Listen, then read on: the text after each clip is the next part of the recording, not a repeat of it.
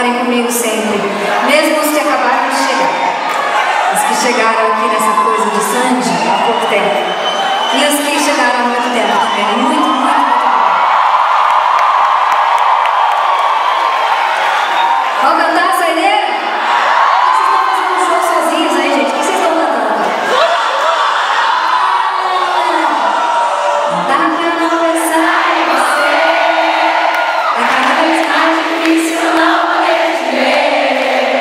there.